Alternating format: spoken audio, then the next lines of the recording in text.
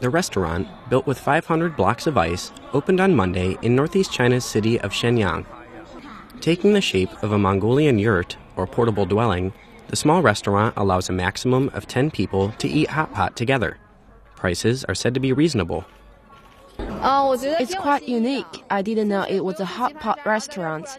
Now I want to give it a shot. Some visitors express concern that the restaurant might literally melt away due to the high temperatures generated by the hot pot. But the restaurant's manager said this won't be a problem. The building is designed to ventilate hot air. It's quite safe. Outdoor temperatures in Shenyang during winter can average around negative 11 degrees Celsius, making it possible to build and maintain ice buildings. The restaurant has become so popular that bookings must be made five days in advance.